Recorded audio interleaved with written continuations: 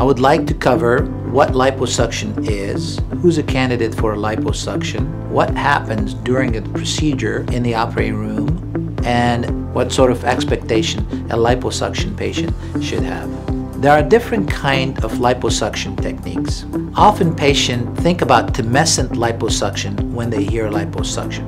Tumescent liposuction is just a technique which we utilize to remove fat from underneath the skin through small incision and using suction and cannulas. There are the suction-assisted liposuction, ultrasound-assisted liposuction, or laser-assisted ultrasuction. Typically, as an outpatient procedure, we are limited by the amount of fat that we can remove, but we're not limited by the amount of areas that we can address.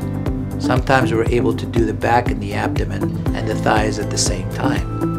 Patients that are candidate for liposuctions are those that are motivated and have done the diet and exercise and they just haven't gotten the body contour that they desire. Liposuction is a good option for those patients to sculpt the rest of their body to their desired look.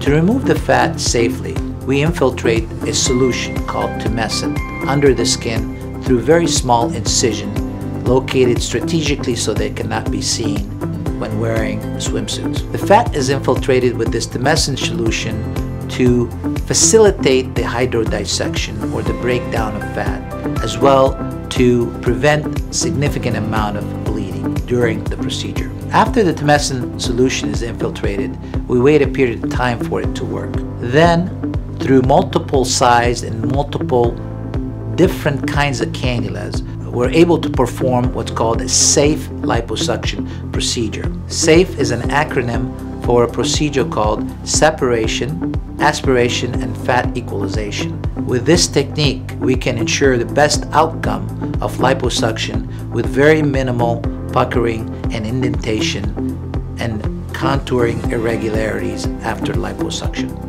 Once we schedule the patient in an outpatient surgical facility, liposuction is done under general anesthesia.